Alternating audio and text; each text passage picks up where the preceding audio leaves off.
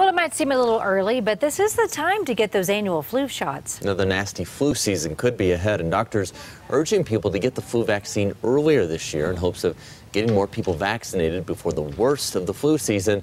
And we're already seeing some cases here in Colorado.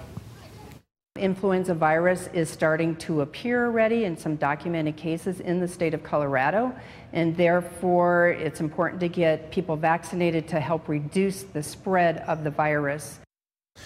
The CDC says everyone six months and older should be vaccinated every year. That flu season can last until May.